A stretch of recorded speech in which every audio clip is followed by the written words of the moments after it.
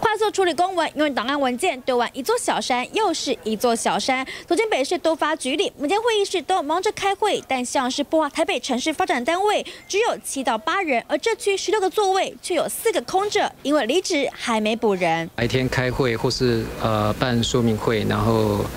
而，导致说同仁没有办法在白天上班时间处理公务。呃，每个人负责案子，基本上。呃，都不少了。人少事更多，柯师府爆出走潮。一百零五年第一季离职人数四百二十人，创下历年同期新高。柯文哲上任十六个月，不止基层离职多，一级首长累积七位挂冠求去，比起前市长郝龙斌同时期只有四人离职，多了快两倍。基本上我不是跳船，真的是，我真的是不是跳船哦。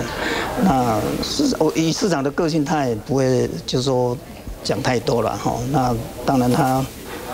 诶，给我自呼。财政局长苏建荣自嘲不是落跑，接受准歌魁林权挖角，到中央也能帮忙北市财政问题。但柯世福小内阁兼董座贺成代以及副长林清荣都传出被挖角。嗯，那这个这个你还问林权呢，不是问我？不会的，第一点，我们其实台北市政府哦。你说有很多人离职，那就表示很多人进来嘛，那也是从中央来的最多啊。